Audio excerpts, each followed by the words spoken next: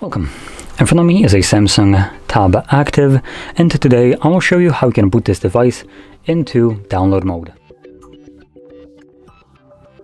To get started, you will need to grab a cable and plug it into your computer and have it ready.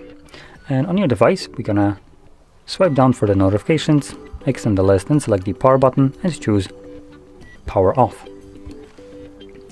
Now once the device turns off, you want to hold your volume up and volume down and then plug in the cable.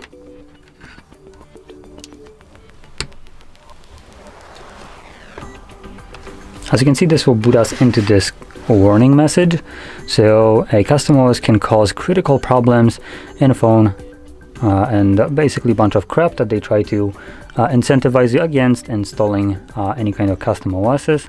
Uh, now, uh, they obviously omissed um, the more important part, part, which is the middle finger, which is that certain functions of the device will stop functioning if you install a custom OS or unlock or even just unlock a bootloader.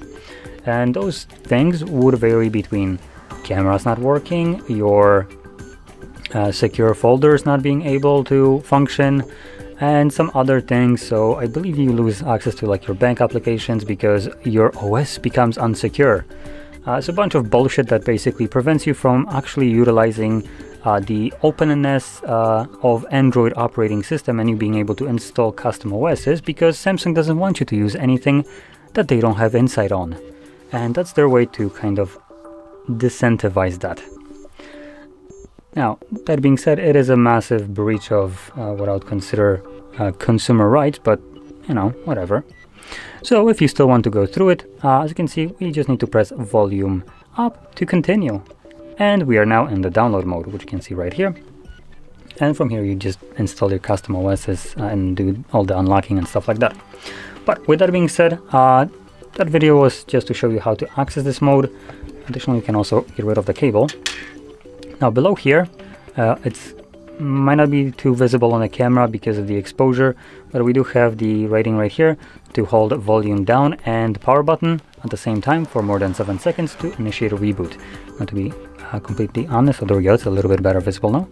Uh, it is saying to hold the side button uh, because, you know, apparently power button ain't, uh, ain't on the same side as the volume buttons, but yet those retain the same name.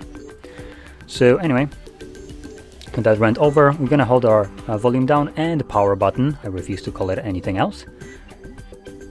And you wanna hold it as long as it takes for the display to turn off. There we go. Once it does so, you can let go of the buttons and the device will automatically turn back on on its own.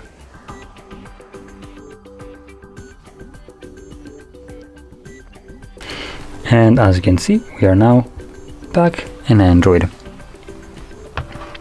So, if you found this very helpful, don't forget to hit like, subscribe, and thanks for watching.